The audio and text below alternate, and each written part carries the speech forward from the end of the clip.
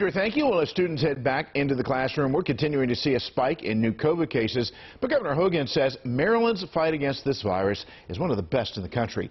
He shared this map from Global Epidemics that shows our state is just one of nine at an orange risk level. He credits the good news to the state's data-driven response.